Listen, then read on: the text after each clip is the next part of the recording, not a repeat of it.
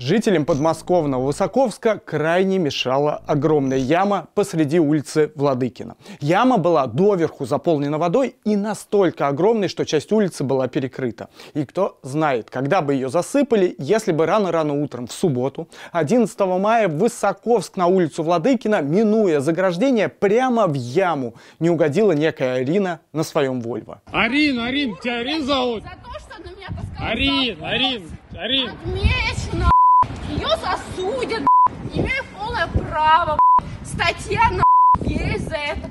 Оттаскаю ее за волос, данный магазин марки 24 на оттаскаю. А чё?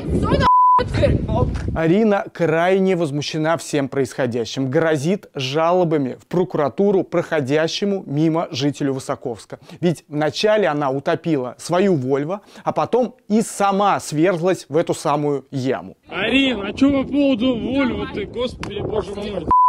Ебать, телефон упал. Ты не, не ныряй, Алин, ты рот. Да не ныряй, да ты ныряешь-то.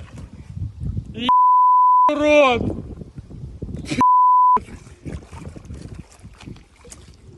Арин, Нырнув в яму, Арина решила, что хватит этих ваших разговоров и нырнула в свой Вольво. В прямом смысле этого слова. Ты пошел на а чё с машиной-то? ты пошел очко.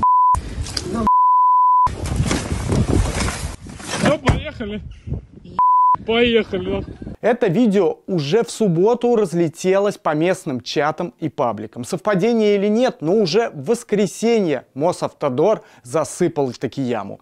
Жители Владыкина, которые месяц на нее жаловались, уверены, что это исключительно заслуга Арины, а никакое не совпадение. Они даже делают про яму и Арину мемы. Но не все так оптимистичны. Многие пишут, что это вообще не смешно и что все могло закончиться гораздо плачевнее, ведь она в таком состоянии, что могла кого-то задавить.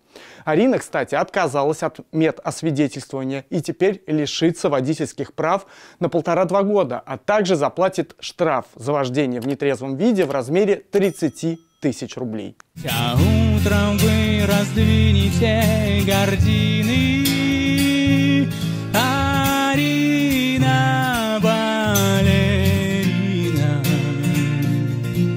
На завтрак чашка кофе и малина, чао, Арина, прощай, меня не стоит провожать.